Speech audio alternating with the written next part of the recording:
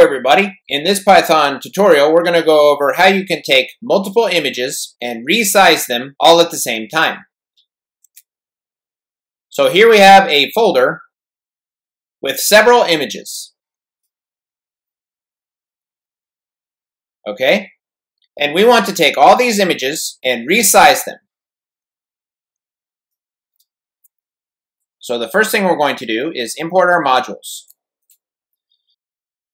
From Pillow, we're going to import image, and we're going to import glob.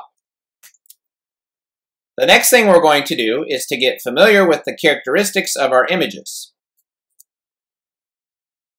So here, we have put in the path for one of our images, and recall, all those images are on the desktop in a folder named Shapes.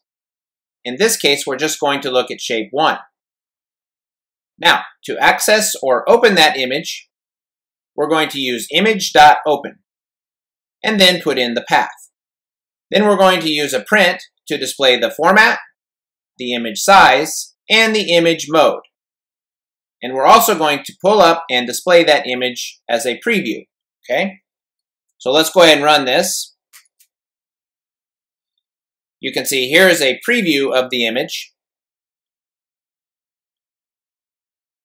And then here you can see the image format, which is PNG, the size, which is 300 by 300, and the image mode, which is RGB, red, green, blue.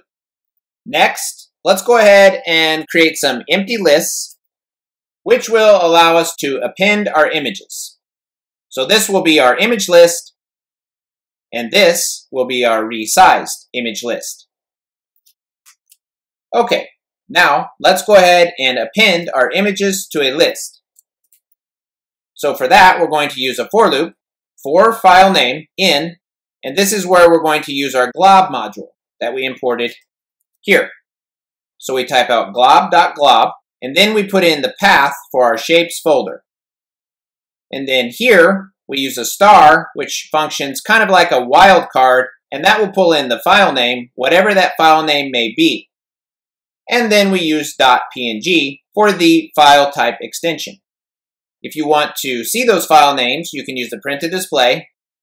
Then we use image.open using the file name and assign that to image.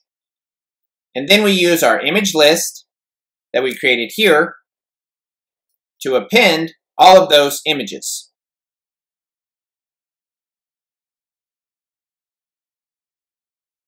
So let's go ahead and run this. And you can see the paths here for all of the images that are now appended to this list.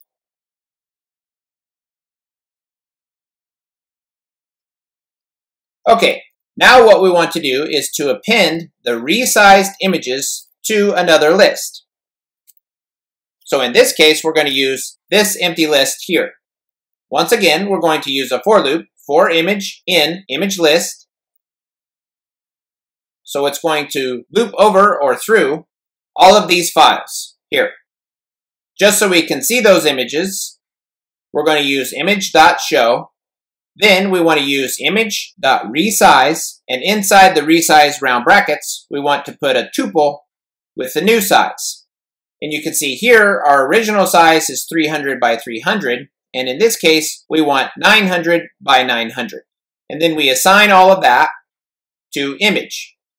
Then we append those resized images to our resized images list.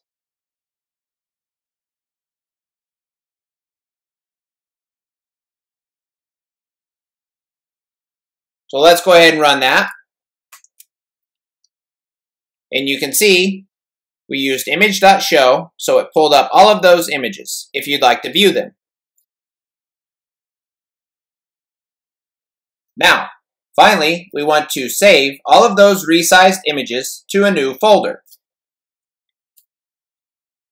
So, in this case, we've gone ahead and created that folder here. It's called New Shapes. So to do that, we just did a right click and clicked on New Folder and gave it a name.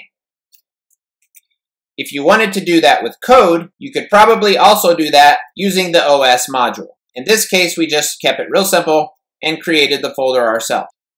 Now, to save those resized images to our new folder, once again, we use a for loop. With this for loop, we use enumerate. So we use for i, comma new, in enumerate, resized images. Now this i will function as a number, and then the new will be each image. Okay, so then we use new dot save. We use string interpolation with format, and in the first set of curly brackets, we put the path and the new image name prefix. Then for the second set of curly brackets, we're going to add a number to that image name. So for example, it will be shape 1, shape 2, shape 3, and so on. And then for the third set of curly brackets, we put in .png for the image type. So let's go ahead and take a quick look at our folder. You can see currently that there's nothing in the folder. Now, let's go ahead and run this. Let's go back to our desktop. And let's see what's in the folder. Okay, so here we have our resized shapes. Let's go ahead and take a look.